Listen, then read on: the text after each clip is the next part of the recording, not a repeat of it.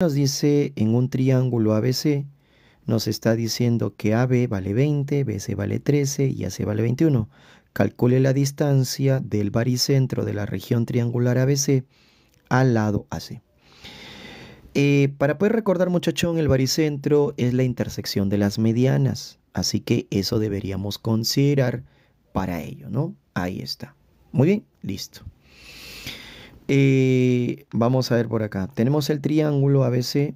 Ah, ya, la práctica que me ha tocado, muchachón, es de la sesión 8. De la sesión 8 me tocó expresiones algebraicas. Entonces por acá yo tengo entonces el triángulo ABC. ¿Ok? Por acá tenemos el 20 que vale AB, el 13 que vale BC y AC que en este caso vale 21. Nos piden entonces eh, la distancia del baricentro hacia el lado AC. O sea que yo necesito trazar en este caso la mediana, que acá le pondría un M, ¿no? que en este caso por ser mediana muchachón, nos daría dos segmentos iguales. Ahora bien, me están pidiendo entonces la distancia del baricentro hacia eh, el lado AC. ¿Ok? ¿Listo? O sea que este de acá le vamos a poner un X. Ya, eso es importante tenerlo en cuenta, pues muchachón. De repente quisiesen ustedes que trace las medianas, pero ya que yo pueda trabajar con una, es en ella o en cualquiera de las tres, elegir un punto y elegirlo como baricentro, ¿no? Sin necesidad en este caso de trazar. Obviamente el poder trazarlo nos daría un poquito más de precisión, si es un poquito más arriba, un poquito más abajo, pero ya sabiendo que hay un punto de esa mediana o de las tres medianas que nos da el baricentro, no hay ningún problema.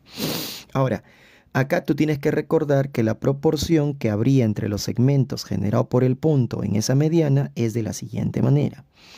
Si vamos desde el vértice al baricentro y del baricentro al punto medio su lado opuesto, están en la proporción de 2 a 1. O sea que si yo acá le pongo A, este sería en este caso 2A. Muy bien. Entonces, ¿cómo hallaremos este, esta medida?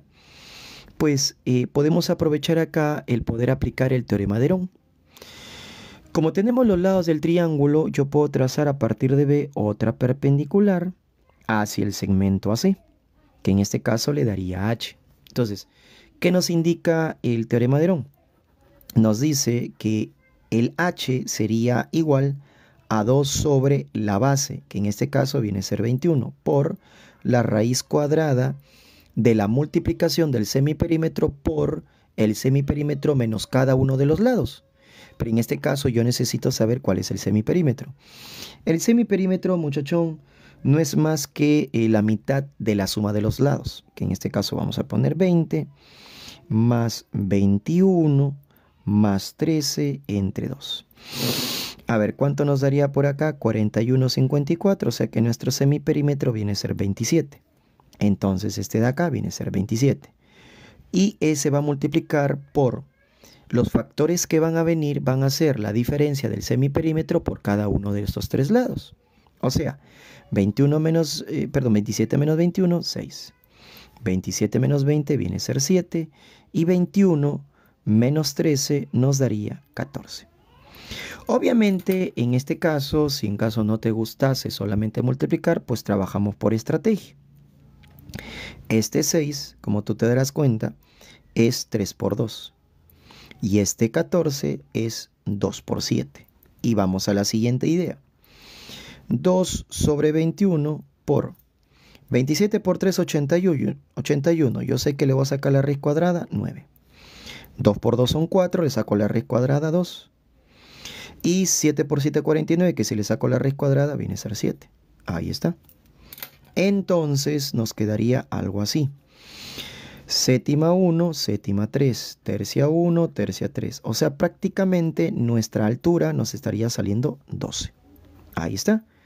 Muy bien, pero recuerda que a mí me están pidiendo hallar el x. Entonces vamos a trabajar de la siguiente manera date cuenta que estos dos son paralelos, lo cual, eh, claro, tú dices, no, pero ¿por qué paralelos? Porque estos ángulos son iguales, son ángulos correspondientes, y cuando hay ángulos correspondientes, estos dos tendrían que ser paralelos. Ahora, eso me lleva a decir que si este de acá viene a ser alfa, este es alfa, y es por eso que podemos trabajar con dos triángulos semejantes, ¿no? La semejanza de triángulo lo puedes sacar a partir de dos ángulos congruentes. O sea que este triángulo pequeño con este triángulo grande vienen a ser semejantes. ¿Qué es lo que se cumple por semejanza de triángulos? Por acá lo vamos a hacer. Que este ladito que vale A va a dividir por este ladito, que en este caso es X. Y los mismos lados considerados en este triángulo, consideraremos en el otro triángulo más grande. Este de acá, que vale 3A. ¿Sobre quién? Sobre este ladito, que vale 12. Ahí está.